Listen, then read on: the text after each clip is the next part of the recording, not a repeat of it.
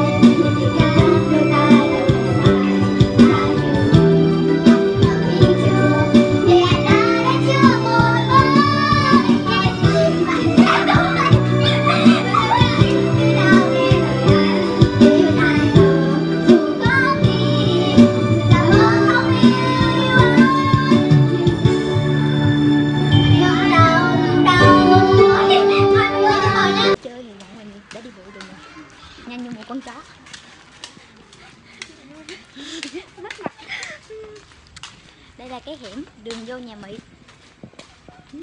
Mỹ đi dám ha, Mỹ đi với Thúy thì Mỹ mới dám quay thôi. Đi đi một Đi mình mình hả? thôi phải là đi nhanh nhanh nhanh nhanh, nhanh về tới nhà. Chị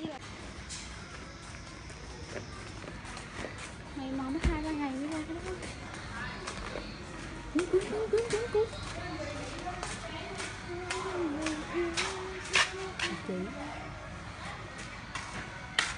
mở đi tí